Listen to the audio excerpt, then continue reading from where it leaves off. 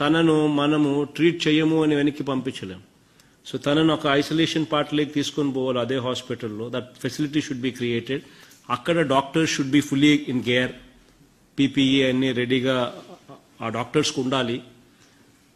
So వాళ్ళు వెంటనే ఆ పేషెంట్ను ట్రీట్ చేసి టెస్టులు చేసి టెస్టులు చేసినంత కాలం ఐసోలేషన్లో పెడతారు.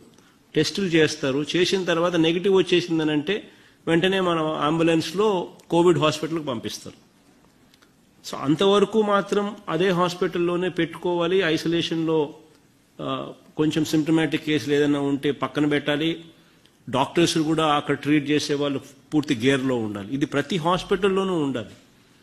Subscribe us and press the bell icon for more interesting updates.